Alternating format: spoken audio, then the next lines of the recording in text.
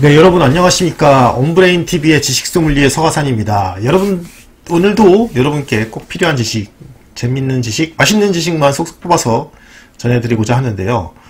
여러분, 제주도에 한 번씩 다 가보셨나요? 예, 저는 안타깝게도 아직까지 한 번도 가보지 못했습니다. 예, 자랑은 아니고요. 그런데 여러분, 제주도는 참 특이하죠. 그죠? 화산섬이라고 하는 건 다 알고 계시죠? 예, 한라산. 백록담 이런 거 보면 그죠 휴화산이다 뭐 이런 거 중학교 때 배운 것 같은데 그런데 재밌는 게 음, 지금 지금은 제주도가 그 화산 활동이 멈춰 있는 상태인데 어, 2600년 전에 제주 화산이 분출했다 그런 기록이 있어서 어, 그런 기사가 있어가지고 여러분께 한번 소개해드리려 가져와 봤습니다. 예, 재밌죠, 그렇죠. 그래서 여러분 어, 이거는 지금 보면 경향신문의 지금 기사입니다. 박민아 기자님의 기사인데 2600년 전에도 제주 화산이 분출했다고 합니다.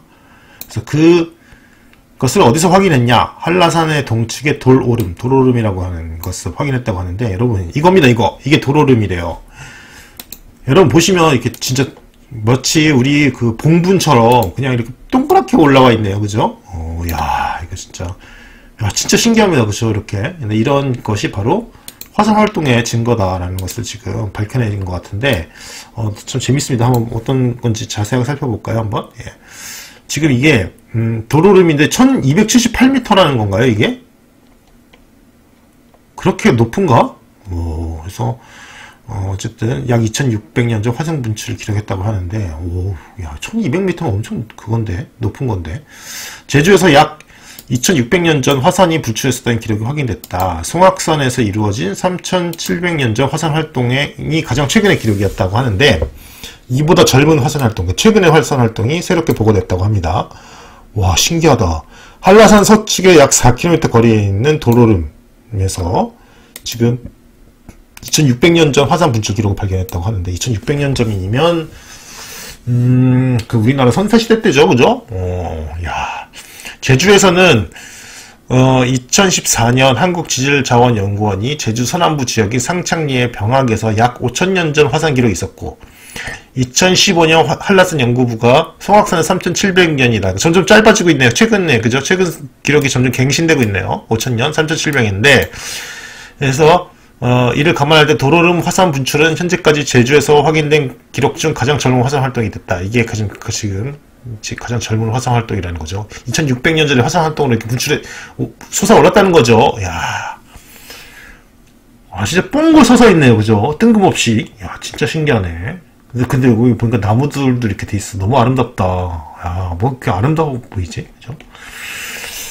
그리고 어, 이번 조사는 제주도 세계유산본부가 2016년부터 2019년까지 실시한 한라산 천연 보호구역 기초 학술 조사와 제주도 화산 기록의 추적 연구를 통해서 얻어진 결과라고 합니다. 음.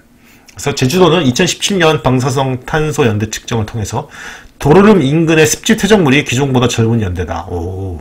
그러니까 요 근처에 있는 요 습지에 있는 퇴적물들 이런 것들이 그쵸? 상대적으로 젊다는 거죠. 기존보다. 이후 정확한 분출 연대를 얻기 위해서 2020년 2월까지 3년에 걸쳐서 광역 이루 미네선스 광 광여기루 위네선스 무슨 뭡니까 이게 연대 측정 등 세 가지 연대 측정법으로 교차 검증해서 더 정확하게 이제 하기 위해서 여러 가지 이제 연대 측정법을 이제 써서 그것을 이제 서로 비교해 보는 거겠죠. 그래서 제주도 세계유산본부는 일반적으로 지질학에서 1만 년 이내에 화산 활동 기록이 있는 화산을 활화산이다. 오, 그러면 어? 그러면 제주는 제주도는 여러분 제가 아까 전에 휴화산이라고 설명드렸는데 그게 아니라 화라산이라는 걸 알 수 있습니다. 그렇죠?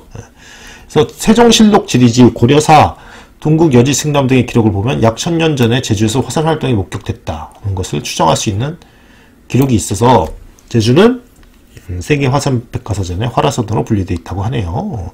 그러니까 이걸 보면 여러분, 그러니까 화산 활동이라는 게 지질 연대 같은 것도 측정을 하지만 이 문화유산 같은 기록을 통해서 언제 폭발이 있었다 이런 거를 수집을 해서 이제 그렇게 특정하는 어떤 그렇게 그걸 이렇게 이것은 화라, 화라산이다 휴화산이다 이런 거를 규정하는 이제 그러한 기준도 있다는 것을 여러분이 알 수 있겠네요. 그렇죠? 어, 지질뿐만 지질 연대뿐만 아니라 기록도 중요하다라는 거죠. 네, 그래서 고순향 제주도 세계유산본부장은 역사서에 기록된 제주도 화산, 화산 활동 기록과 차이가 있지만 이번 결과를 통해서 한라산을 비롯한 제주 곳곳에서 화산 활동이 반복적으로 계속됐다. 새롭게 알 수 있다고 하면서 제주도 전역에 걸친 화산학적 연구의 필요성을 다시 한번 인식시킨 계기가 됐다고 말했다. 그러네요. 여러분, 그래서 제주도는 여러분, 저도 잘못 알고 있었는데 휴화산이 아니라 뭐다? 화라산이다. 그래서 뭐 언젠가 다시 뭐 활동의 기록이 있었 있겠죠. 그런데 그거 그때 뭐 피해가 크지 않았으면 좋겠고요. 어, 그것보다 이제 어떤 그런 지금 제주도의 어떤 그 기저에 있는 어떤 그 지, 저기 무슨 뭐 그 지질학적인 어떤 그런 화산학적인 어떤 활동이라든지 이런 거를 연구를 해서 어떤 활동이 계속되고 있는지 그런 걸 알아보면 또 굉장히 가치 있는 그런 연구가 되겠죠. 네. 그래서 어, 우리나라에도 이런 아직까지 활동을 하고 있는 그런 화산 지대가 있다라는 걸 여러분이 꼭 알아주시기 바라고요. 자, 내일 또 더 재밌는 정보를 여러분 찾아뵙도록 하겠습니다. 좋아요, 구독 부탁드리고요, 여러분. 네, 내일 뵙겠습니다. 감사합니다.